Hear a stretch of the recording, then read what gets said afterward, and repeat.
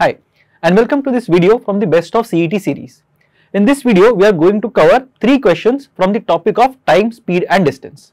So what you can do is you can have a look at this slide which has all the three questions, try them out on your own and then have a look at the solutions that will follow. The ideal time to solve these questions is 3 minutes. So what you can do is you can time yourself for 3 minutes, solve the questions and then have a look at the solutions. So I'll just show you the questions for this particular set and you can try these. So there are three questions that you can try. If you like our content and want to experience the IMS pedagogy, you can join the IMS Zero Fee Prep programs that will give you access to concept videos, sectionals, full length tests and more for free. You may click on the I button or on the link in the description box below to access the same. Happy learning!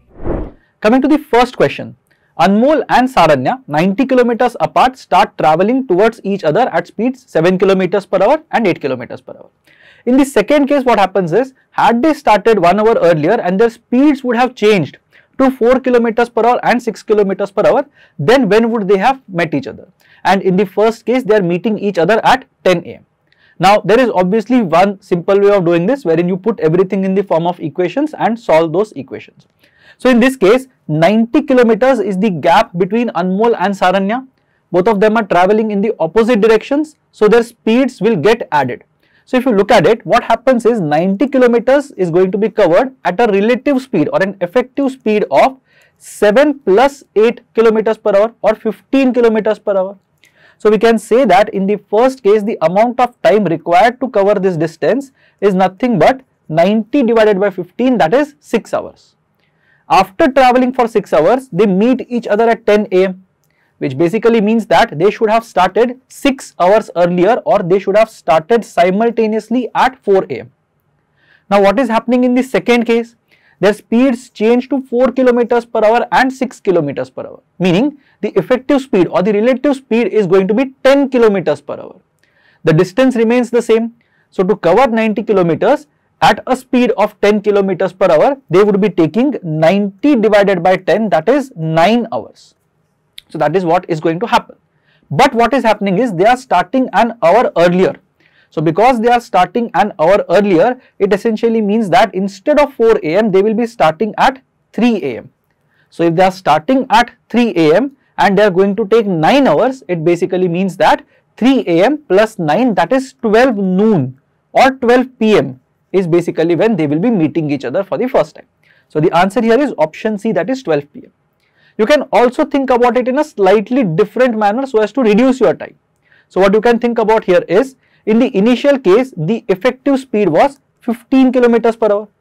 In the second case the relative speed was 10 kilometers per hour 4 kilometers plus 6 kilometers per hour so 10 kilometers per hour.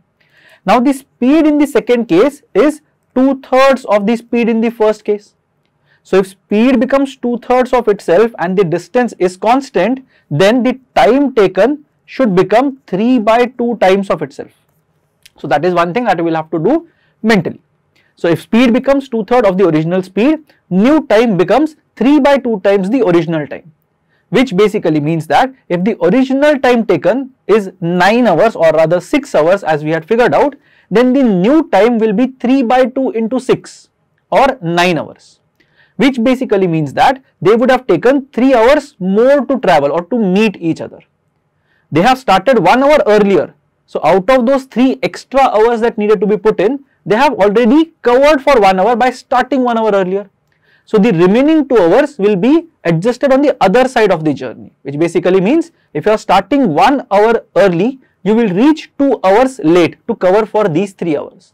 And that's why if they are meeting at 10 am in the first case, in the second case, they would be meeting at 12 pm. So using this logic, you can solve the same question mentally. In this question, the speed of the boat along the stream is 1.5 times the speed of the boat against the stream. Now the speed of boat in still water is 4 meters per second. Due to rains, the speed of water doubles. Now, what is the speed of the boat in the direction of the stream? So what we have to figure out here is very straightforward. Now you can get all tangled in trying to figure out what is B, what is S or SB and SS, take the ratios, cross multiply and all those kind of things. But if you know the simple concept of componendo dividendo and you can apply it without any hesitation in these kind of questions, you would have done a good job. So in this case, I will show you directly what is the shorter method. So in this case, the speed of both boat along the stream, which means you can say speed of boat plus speed of stream is 1.5 times the speed of boat against the stream. So you can say b plus s upon b minus s is 1.5. Now if you apply componendo dividendo here, then what is going to happen is you are going to directly get b by s equals 1.5 plus 1 upon 1.5 minus 1. For those of you who don't know componendo dividendo, you can just go back and understand it from your concept books or from the internet. So here if you are looking at b by s is 1.5 plus 1 upon 1.5 minus 1. Speed of boat to speed of stream is going to be 2.5 upon 0.5 or you can say 5 is to 1. So if the speed of boat is 5 units, then the speed of stream becomes 1 unit. That's what we are trying to say here. But we know that the speed of the boat in still water is 4 meters per second. So I know that the value of B is 4. If the value of B is 4, then the value of stream becomes 4 by 5. So stream will become 4 by 5 or 0.8. But in this case, the speed of water has doubled. So instead of 0.8, speed of water has become 1.6 meters per second. So what is the speed of the boat in the direction of the stream? This will basically mean what is the value of S plus B in this case. So the value of S is uh, 1.6 in this case, the value of B is 4. 4 plus 1.6 will give you the answer as 5.6 meters per second or option B. In this question, circumference of the front wheel of the cart is 40 feet and that of the back wheel is 48 feet. If the front wheel has done 5 more revolutions, what is the distance covered by the cart? So there are two or three things that you can do here. The first thing is you just look at the numbers, look at the options, you will probably get your answer. So if you look at something, in this case, the circumference, 40 feet long is the amount of distance that is covered when the front wheel makes one rotation. 48 feet is the amount of distance that is covered when the back wheel makes one rotation. Now in these cases, you have to have a leap of faith and you have to trust the paper setter to give you good numbers to play with. So we can automatically say that the distance that would be covered should be a multiple of 40 as well as 48 if you look at the options and if you look at one obvious number that is going to be a multiple of 40 as well as 48 or a multiple of the LCM of 40 and 48 that is 240 you would get your answer to be 1200. In most cases your answer will be right. So if you are extremely short on time and want to take a risk you can just mark 1200 and forget about the question. If you have some time on hand what you can think about is a basic equation. So let's say for example the front wheel does 5 more revolutions than the rear wheel Let's say the real wheel makes x revolutions. So the front wheel would be making x plus 5 revolutions. The circumference of the front wheel is 40. So the total distance covered by the front wheel is going to be 40 into x plus 5. Now because the entire vehicle has moved ahead, the distance covered by the front wheel should be equal to the distance covered by the rear wheel. Otherwise the wheels will get separated which is not sensible in this context. So this will be equal to 48 times x. So rear wheel is x, rear wheel the circumference is 48. So 48 times x will be equal to 40 into x plus 5. So you get 40x plus 200 equals 48x or you will get 8x equals 200 meaning x equals 25. If x equals 25 and we have to find the distance travelled by the cart, we can substitute the value of x either in this part of the equation or in this part of the equation. The value should be the same. So 48 into 25 will be nothing but 25 8s are 200, 25 4s are 100 plus 20 is 120. So you are going to get 1200 as your answer. You can also think about it in one small way if you are especially good at mentally doing all your calculations.